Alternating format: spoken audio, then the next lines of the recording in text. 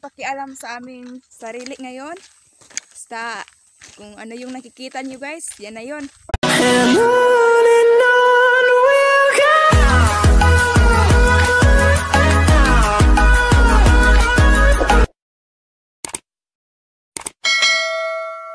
guys, nandito po ako ngayon. Dito lang malapit sa aming bahay. Meron pong ah, lobby dito as in yung lobby na tinatamaan or yung niyog na tinatamaan po ng kidlat. Pinutol po. Hindi ko po alam talaga na magpili pa lang ipatayo yan ng bahay yung niyog. So ngayon, ah, pinuputol po nila. Tapos ginagawa po siya kahoy para pang ano po siya, pang, pang ano po, pangpatayo po ng bahay. So once again, maraming salamat po American Pinay Vlogs dahil meron na kaming pangbayad po para sa, ano ba itong buhok ko ay, para po pangbayad sa aming mga gagamitin dito po sa pagpatayo ng bahay para madali po. Thank you, thank you so much Ate American Pinay Vlogs sa iyong tulong at saka sa nag-sponsor po sa amin ng Yero. Thank you, thank you so much. At saka po marami talaga salamat sa lahat pong tumutulong sa akin guys. So, hindi ko po mapatayo ang bahay kung wala kayo. Thank you, thank you so much. So, ngayon guys, itong, ito siya. Pwede namin tong gawin, pang design doon sa aming bahay. Pwede namin to siyang dadalhin doon. Pero gagamitan namin siya ng kangga. Yung binibihat-bihat po ng karabaw. So, ayan guys. So, ito po yung kahoy. Sobrang mabigat po siya. As in, mabigat talaga. So, pwede, pwede talaga. So, ayan. Hinihingal ako. And hindi ko po alam kung anong size yan sa anong size. Hindi ko po talaga alam. Dos por dos ba yan? Basta, ang alam ko lang, kahoy yan. Kahoy talaga. O, ayan po guys. Yung hinuhukay dyan, yan po ay CR, septic tank. So, ayan guys, magpaksiw po tayo ng isda. Ayan, para ulamin ngayong tanghalian. Ito po yung isda guys, uri po yung isda, tambaka. Ah, matambaka ba yun? Basta, baka. Baka sakaling tayo magtalayo.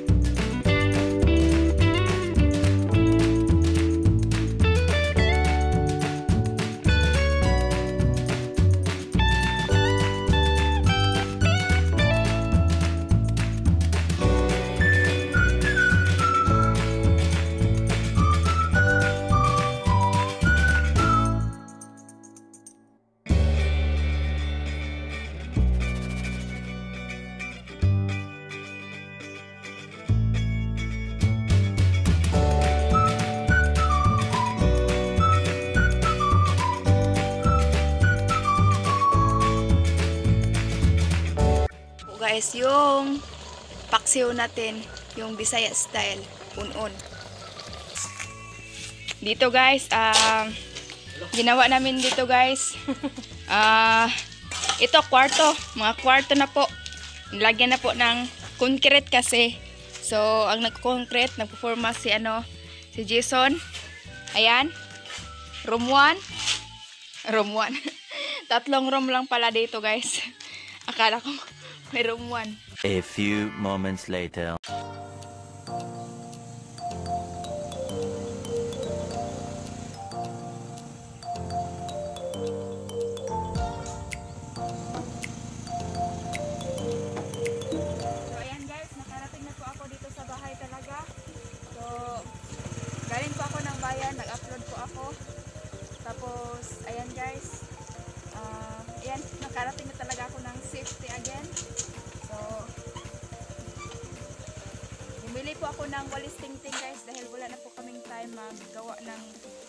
kasi sobrang busy po talaga dito sa bahay kasi uh, binilisan namin. Wala kasi kaming matulugan kaya ganon. Bumili na din ako ng pang, pang ano, ito na. Ito na guys. Mahaba yung, mahaba yung paglalakbay ko ngayon. Bumili po ako ng itak para po sa mga taong walang jowa. So ayan guys, handa na po akong mag magpatay ng damo dito sa aming bukirin. So ayan guys, ah tingnan natin guys kung anong ginagawa ni Jason dito. Mason! Mason! Jason! Ayan guys, inumpisahan na po namin ang kwarto dito. Room 1. Oh, joke lang. dito, ah room 1. Room 1. Hanggang room 3 lang po tayo guys. Room 2.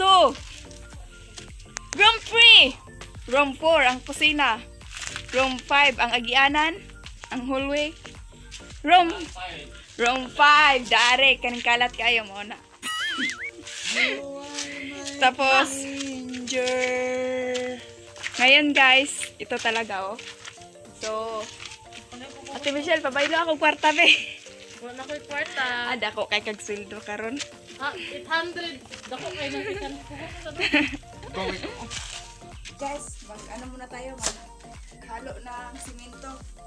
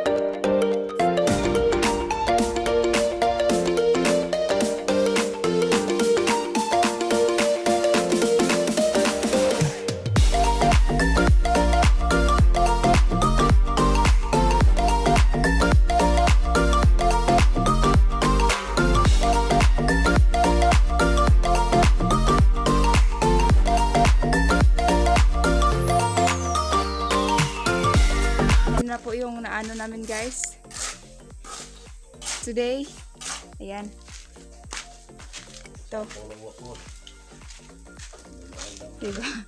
Si Jason, oh. Ayan. So, yun na po yung nagawa namin today. Sunod naman guys, ah bibisitahin natin ang kahoy na pinutol kanina. Guys, wala po kaming pakialam sa aming sarili ngayon. Basta, kung ano yung nakikita nyo guys, yan na yun. Walang supply, walang ligo, full package. So ngayon yung father na nagbibihat po na, ng kahoy, si father. Kasi yung dalawa kong kapatid, yung mga lalaki, nandoon po, nagtatrabaho po sila. Patuloy po ang concrete. Ngayon, nasaan ba si father? Pa, asa may maghakot og kahoy pa? Ha? Asa dapit? Wala may agianan re. Ah, dito, dito, dito. Dito kami dadaan, guys. Yan. Aray, daghang daat oh, kung buhok. Mura nag-wire. May sublay. Yan guys, dito na po tayo sa... Uy, Col! Ang hapon!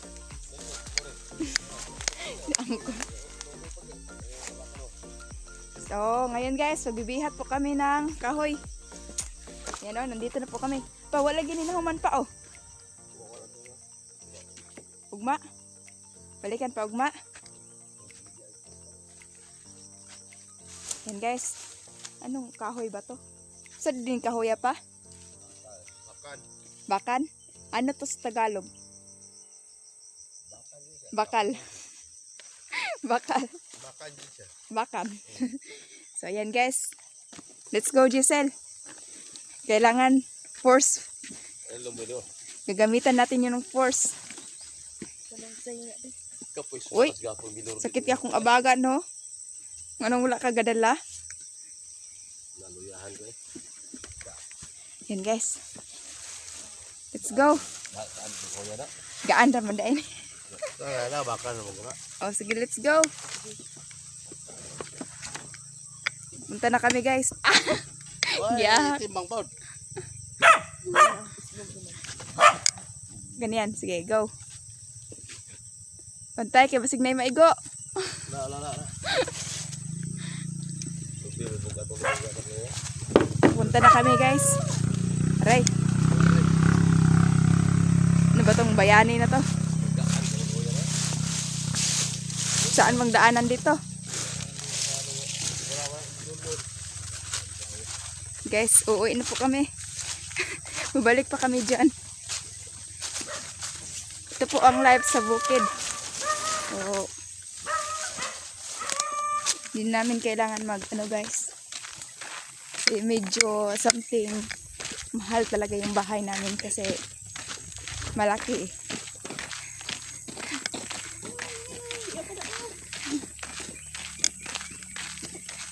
Guys. Malapit lang to sa bahay namin. Kaya no worries po.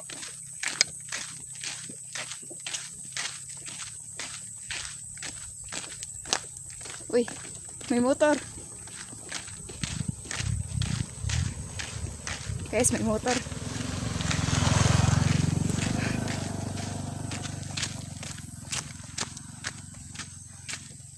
Dito, Day. Dito natin ilagay. Finally guys, nakarating na kami.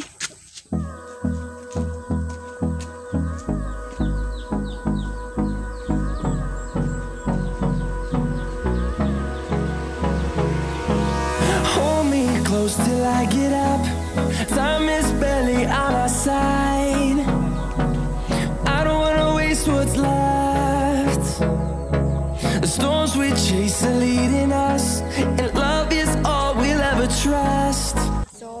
yung baka namin nakahoy. Hindi pa natapos kasi hindi pa na ah, hindi pa na power so lahat. So ngayon, yung coconut na naman yung kukunin namin. Let's go! On and sun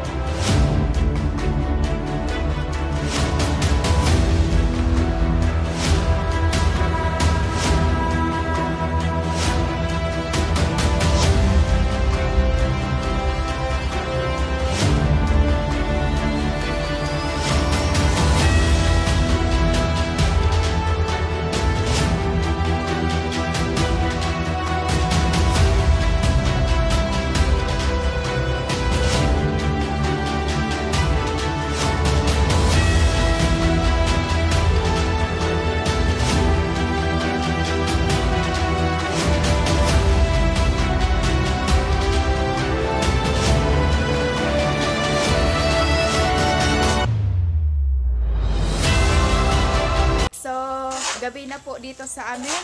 Ah, yan lang po guys today. So, ito po yung bahay natin guys na pinatayo po.